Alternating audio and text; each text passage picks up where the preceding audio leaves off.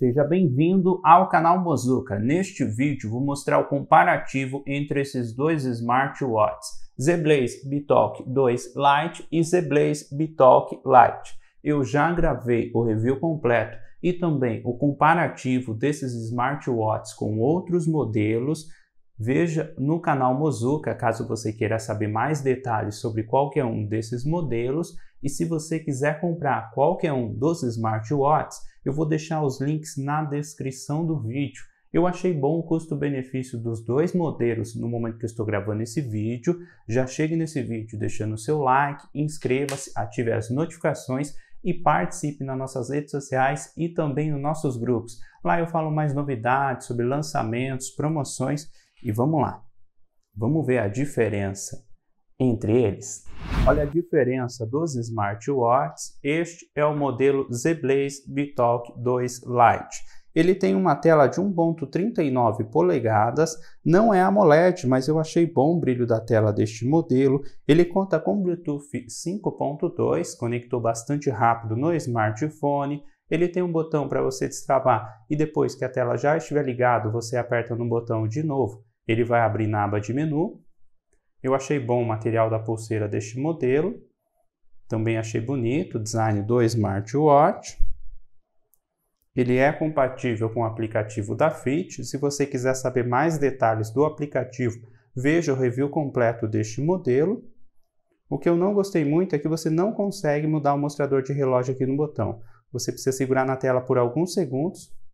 Ele tem algumas opções de mostrador de relógio que você pode selecionar direto no smartwatch e mais opções você pode baixar no aplicativo.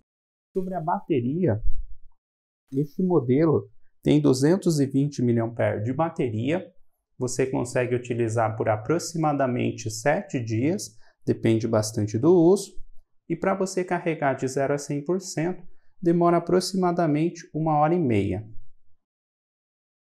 Olha os detalhes do menu deste modelo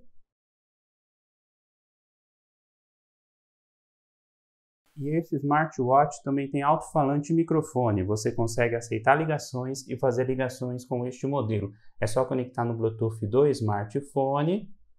Você também consegue utilizar o assistente de voz do smartphone utilizando o microfone do smartwatch. Pelos testes que eu fiz, funcionou bem. Se você quiser saber mais detalhes, veja também o review completo deste modelo. Já este é o smartwatch ZBlaze Bitalk Lite. Ele tem uma tela de 1.83 polegadas, também não é AMOLED, mas eu achei bom o brilho da tela. Ele conta com Bluetooth 5.1, conector rápido no smartphone. Ele tem 230 mAh de bateria.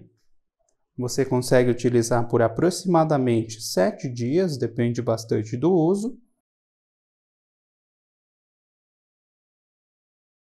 E para você carregar de 0 a 100% demora aproximadamente uma hora e meia. Também achei bom o material da pulseira. São essas algumas diferenças entre eles. Ele conta com um botão para você destravar ou travar. E para você abrir no menu, é só você arrastar da esquerda para a direita.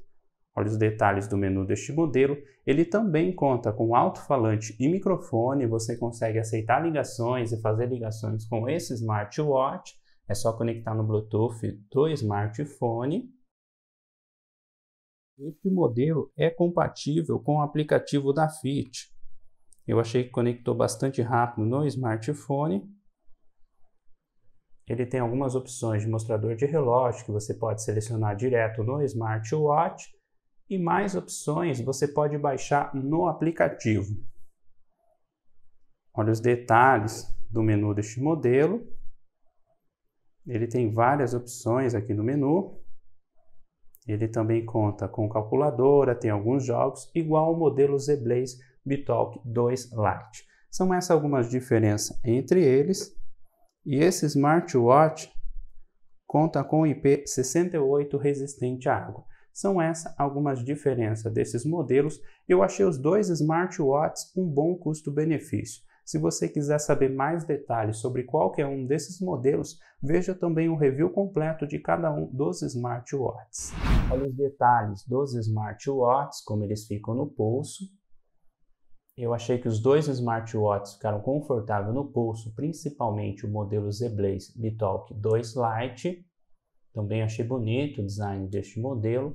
Os dois smartwatches têm várias opções de ajuste e são essas algumas diferenças entre eles. Agora eu vou mostrar para vocês o teste de frequência cardíaca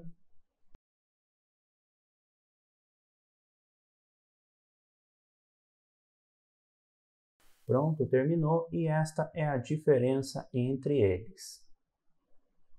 Agora eu vou mostrar o teste de oxigênio no sangue.